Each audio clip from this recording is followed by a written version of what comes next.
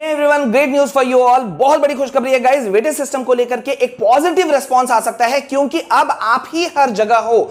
जहाँ भी हो, सिर्फ़ और सिर्फ़ आप बच्चों की बात सुनी जा रही है कि hashtag best of either term subject wise जो है वो एकदम प्रॉपर एकदम रीजनेबल डिमांड है स्टूडेंट्स का या जो भी एक्सपर्ट्स अकेडमियंस इवन बहुत सारे प्रिंसिपल्स इस बात को एग्री कर रहे हैं कि भाई बच्चे गलत डिमांड नहीं कर रहे हैं।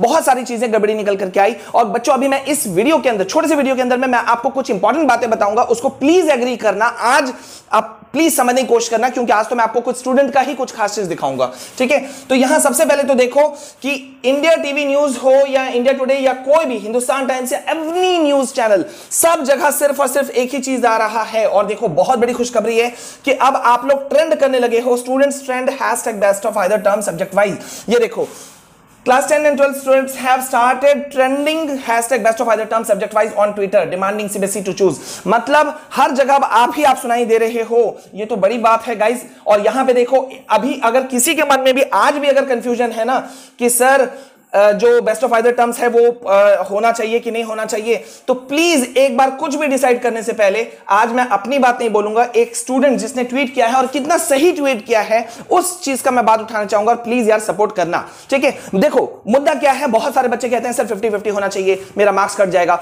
बहुत कहते हैं थर्टी सेवेंटी होना चाहिए, सर, मेरा टर्म वन अच्छा गया था टर्म टू अच्छा नहीं गया था टर्म टू अच्छा गया था टर्म वन अच्छा नहीं गया था। But see what this student has said इसने कहा सीबीएसई को कि सीबीएसई टुक टू बोर्ड्स दो एग्ज़ाम लिए। It's never possible that marks will come same in both term one and term two ऐसा हो ही नहीं सकता कि टर्म वन और टर्म टू में आपके सेम एक जैसा मार्क्स आया।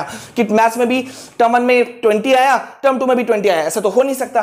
Few subjects of term one may have went well and few of term two ऐसा हुआ होगा। देखो, ये स्टूडेंट कितना सही लिख रहा है ट्वीट किया इसने। कि भाई टर्म वन का कुछ जो है, वो अच्छा गया होगा? कुछ पेपर्स कुछ सब्जेक्ट्स टर्म टू का कुछ अच्छा गया होगा। तो so in this case hashtag best of either term subject wise will be beneficial for everyone देखो, कितना सही बात, और यही बात मैं आप लोगों को बार बार समझा रहा हूँ कि भाई इस बात को समझने की कोशिश करो। डिफरेंट जो यूट्यूबर पॉलिटिक्स बहुत सारे लोगों का हो रहा है ना, उस चीज़ पे मत करो। वीडियोज़ बनाते हैं, खोल के सामने कभी नहीं आते। आपने नोटिस किया है? बड़े बड़े यूट्यूबर्स का भी कुछ लोगों का ऐसा स्टैंड हो गया है। Best of either terms wise subject wise ना अच्छा है। लेकिन ना सीबीएसई देखो क्या करेगी कहना मुश्किल है। सीबीएसई फिफ्टी फिफ्टी ज़्यादा सोच रही है थर्टी सेवेंटी ये पॉलिटिक्स आप लोग को नहीं लगता है। आप लोग इतने छोटे बच्चे नहीं हो क्लास टेन ट्वेल्थ के स्टूडेंट हो। थोड़ा समझो बात को कि मतलब ये कौन सा स्टैंड हुआ? वीडियोज़ बना रहे हैं।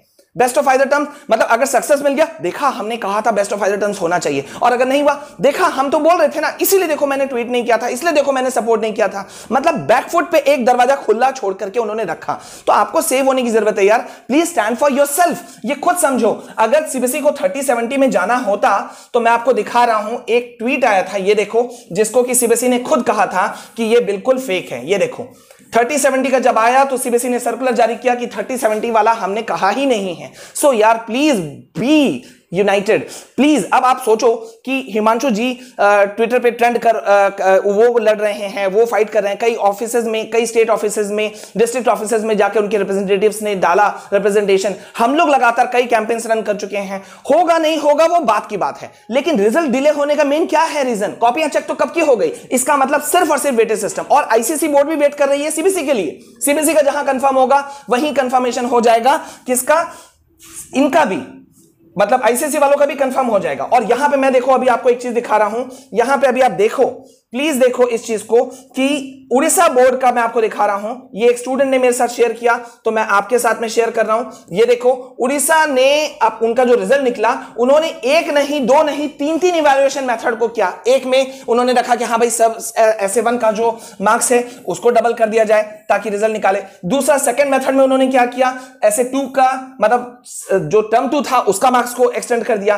थर्ड मेथड में देखो, ये देखो थर्ड मेथड थर्ड मेथड में क्या किया कि इंटरनल असेसमेंट को उन्होंने थर्टी परसेंट मार्क्स रखा ठीक है? थर्टी परसेंट पहले उन्होंने क्या किया? आ, आ, देखो थर्टी परसेंट एस वन का लिया फिफ्टी परसेंट एस टू का लिया और ट्वेंटी परसेंट मार्क्स इसका लिया इंटरनल का। मतलब तीन इवेल्युएशन मेथड को यूज़ करके एक चीज़ बनाया। यार प्लीज़ स्टे यूनाइटेड मैं अभी भी कह रहा हूँ बहुत फ़ायदे में रहोगे किसी का नुकसान नहीं होगा। प्लीज़ अगर आप समझ रहे हो तो लिखना कमेंट सेक्शन में sir we agree with you मिलते हैं नेक्स्ट वीडियो में। प्लीज़ शेयर करना इस वीडियो को। जय हिंद जय भारत।